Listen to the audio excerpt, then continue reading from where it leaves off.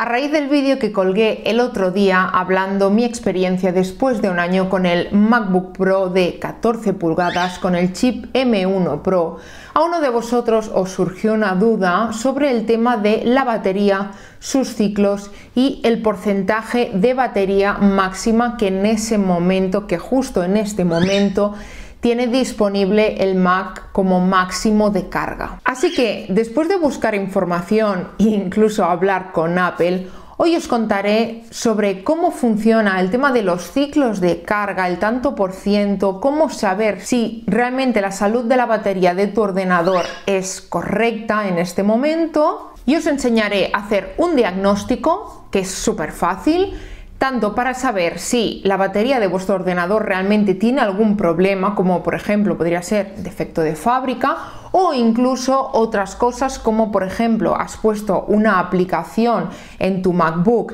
y no funciona la cámara para saber si realmente es problema de la cámara o es problema de la aplicación. Pues bien, soy Mayalen Yeo y empezamos vídeo.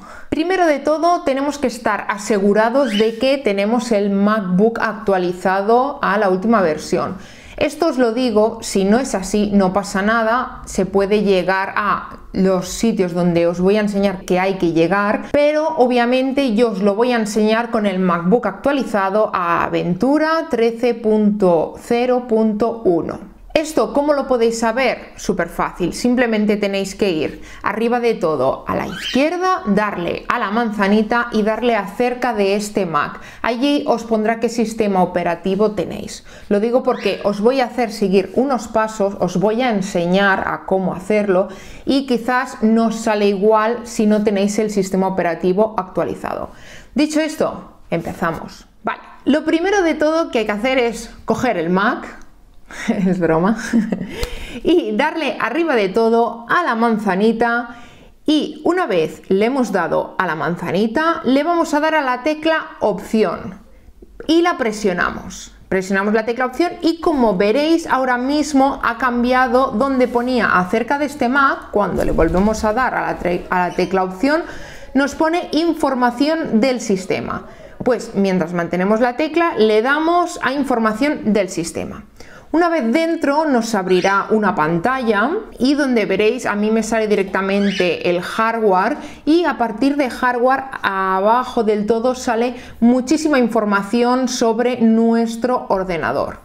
Dicho esto, le vamos a dar a alimentación. Y bien, desde aquí podemos ver todas las preferencias que tenemos puestas en nuestro Mac, como por ejemplo si tenemos activado reducir el brillo, para gastar menos batería. O por ejemplo aquí nos sale si por ejemplo tenemos un temporizador puesto a la hora de por ejemplo tenerlo a 5 minutos que esté sin utilizarse pues que se active el modo reposo ¿no? todo esto al final es lo que está relacionado toda la información que hay aquí puesta con la alimentación o sea sé con la carga y la batería de nuestro ordenador dicho esto si os fijáis donde pone información sobre el estado aquí vamos a ver el número de ciclos que tenemos yo en mi caso tengo 132 ciclos. Me pone que la condición es normal, con lo cual aquí ya nos está avisando de que realmente es normal que tenga esos 132 ciclos y que la capacidad máxima ahora mismo de carga de mi ordenador sea el 93%.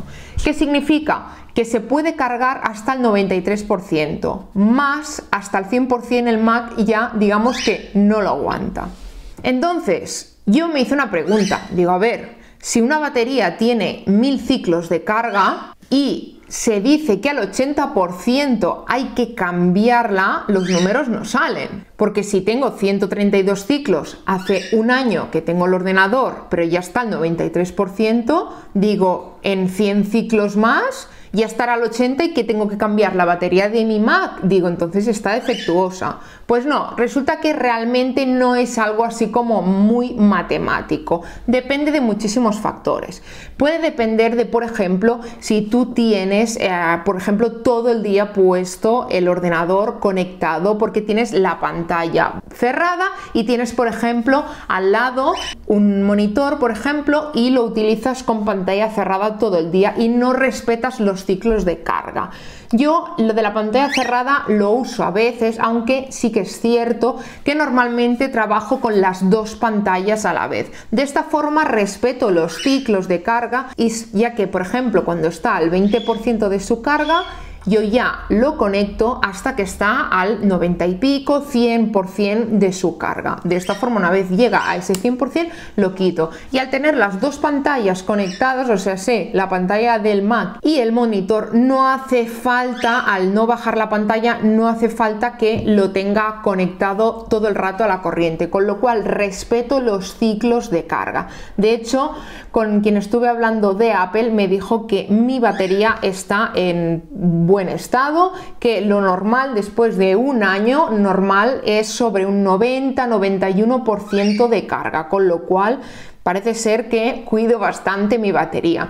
Igualmente, como veréis en esta pantallita ha salido, como os comentaba, aquí tenemos muchas cosas puestas y por ejemplo, aquí me pones cuántas veces he hibernado el ordenador, si tengo el reposo con el botón de encendido puesto, etcétera, etcétera. Y esta información, si queréis mejorar la salud de la batería, lo podéis cambiar ya sea desde dándole un clic al simbolito arriba que hay de la batería y desde aquí le das ajustes de batería. O simplemente yendo a ajustes del sistema y por ejemplo en pantalla desde allí también tienes otros ajustes de batería.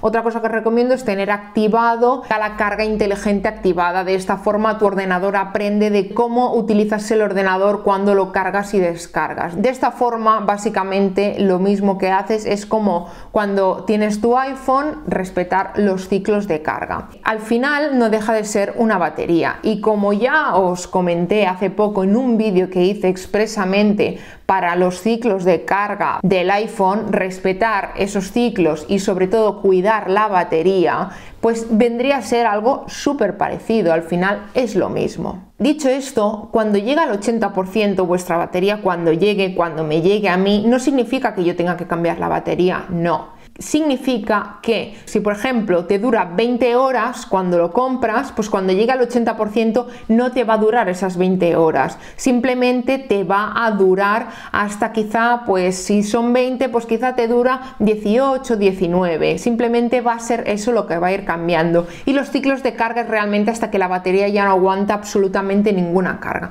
Cuando llega a los 1000 ciclos de carga, pues si por ejemplo en un año he hecho 132, pues pensar que pues tengo que calcular unos nueve años hasta del uso que le estoy dando. Obviamente, si bajo su uso, pues va a tardar más en llegar, pero para que realmente no tenga que cambiar la batería y lo tengas y tenga siempre algo de carga puesta, pues hasta los mil ciclos de carga pueden pasar pues nueve años tranquilamente. Dicho esto, ahora os enseñaré cómo hacer el diagnóstico en el Mac por si tenéis alguna duda, para saber también, esto mm, es algo normal, lo del diagnóstico, no es que de verdad no tenéis que instalar ningún programa ni hacer nada, es el mismo diagnóstico que te hacen en Apple Store, que te hacen cuando llevas tu producto allí, simplemente tú lo puedes hacer desde el ordenador. Y de vez en cuando, pues es recomendable, quizás, pues no sé, cada seis meses o así, que hagas un diagnóstico, pues para saber si tu ordenador realmente tiene algún problema y así puedes saberlo. Es algo que hace automáticamente el ordenador y es súper fácil, solo tenemos que darle a cuatro botones con su orden, así que vamos a hacer el diagnóstico, te enseño cómo hacerlo y así de paso vemos si mi ordenador tiene algún problema o no. Toco madera. Dicho esto, lo primero que tenemos que hacer es tenerlo conectado a la corriente para hacer este diagnóstico. Así que si queremos que el diagnóstico realmente sea real, tenemos que tenerlo conectado a la corriente y si no, recomendaría que lo tuvierais cargado pues a partir del 70%. Ya veréis que realmente dura dos minutitos. Lo primero de todo que tenemos que hacer es apagar el equipo, que en este caso yo lo tengo aquí en la pantalla de inicio, pero también podéis ir arriba a la manzana y apagar equipo. Una vez tenemos el equipo apagado, lo que tenemos que hacer es presionar el botón de encendido todo el rato. Ya nos pone aquí mantén pulsado para ver las opciones de arranque. Entonces, todo este rato lo tenemos pulsado. Ya nos pone cargando opciones de arranque. Seguimos presionando.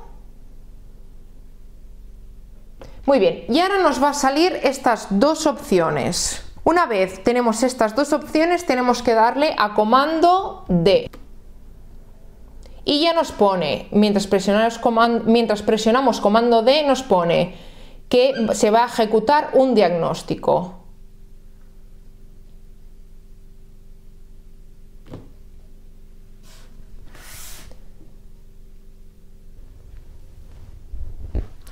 En este caso, ahora mismo se está ejecutando para hacer un diagnóstico. Entonces nos va a salir para hacer un idioma, le damos a español, aceptar, verificando la conexión de red, descargando diagnóstico, iniciando diagnóstico.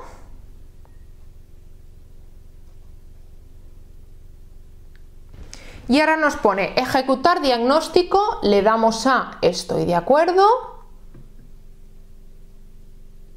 y simplemente ahora tenemos que esperar porque va a ejecutar el diagnóstico él solo.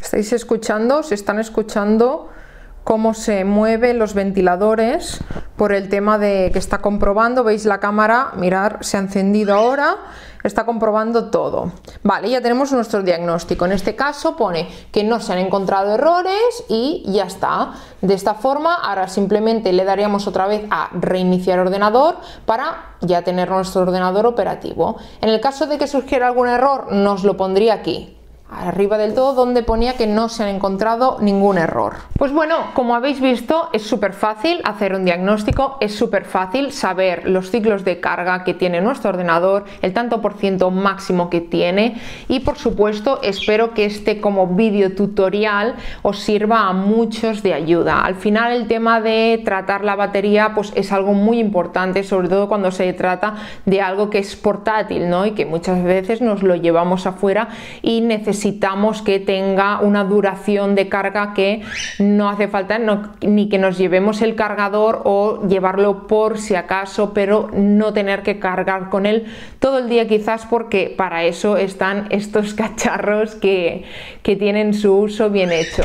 Dicho esto, espero que te haya servido de ayuda. Si es así, puedes pensarte también en hacerte miembro de este canal. Es una forma de ayudarme a mí y al final es como si me invitaras un café mes dándole aquí abajo a unirte y para mí por muy pequeña ayuda que parezca es absolutamente muchísimo para seguiros trayendo contenido que sobre todo os sea útil y os ayude como siempre. Cualquier duda o pregunta ya lo sabéis en comentarios y no te olvides de darle like y suscribirte a este canal para tener tu ordenador siempre al día. Dicho esto, como siempre, Vale, vale, ya acabo. Como siempre, os dejo con un par de vídeos que seguro que os gustan y por supuesto mi agradecimiento a los miembros iPod Classic. Chao, chao.